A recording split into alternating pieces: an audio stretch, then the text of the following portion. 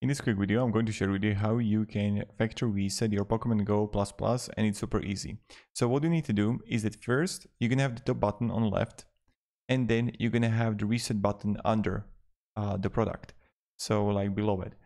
And now what you need to do is like pretty simply, you need to hold the top button and with the paperclip, with the pin, you need to also press the reset button for a few seconds, 10 to 15 seconds.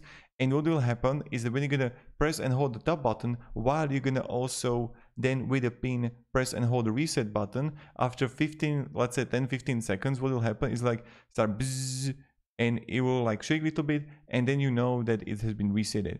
That's it, super simple, super easy. So you're gonna press and hold the top button and while you're gonna press and hold the top button, then you're gonna also press the reset button and that's how it's done. So thank you very much for watching and I hope this video helped you.